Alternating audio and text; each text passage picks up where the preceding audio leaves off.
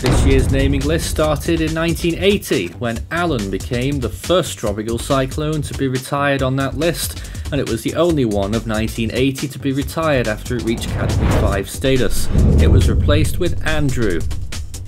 In 1986, not very much happened at all actually, and nothing was retired and in 1992 then we saw another retirement occurring in the form of Bonnie which took the real world Andrews track of course and was replaced with Bridget. In 1998 a few more tropical cyclones were retired, Bridget on its first use getting retired after making landfall as a category 3, Georges powering through the eastern Caribbean and the rest of the islands too, and then eventually Mitch after it made its catastrophic Category 5 landfall in the Yucatan Peninsula. They were replaced with Babs, Gaston, and Matthew.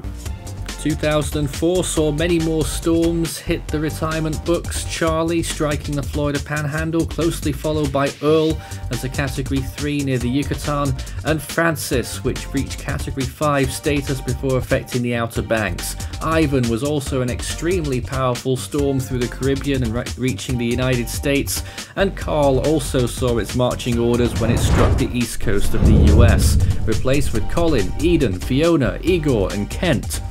In 2010, Sherry saw its end after striking the Yucatan, and Walter did the same. So both of them went, and we also saw the end of Gamma and Zeta, but of course, with the Greek rules, uh, they got used later on again, replaced with Sharon and Wallace. In 2016, Igor saw its end on the Gulf Coast when it struck as a Category 4.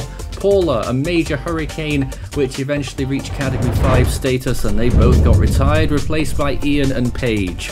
Finally, in 2021, Deshawn was retired from the auxiliary naming list, and that was replaced with Dalen for 2022.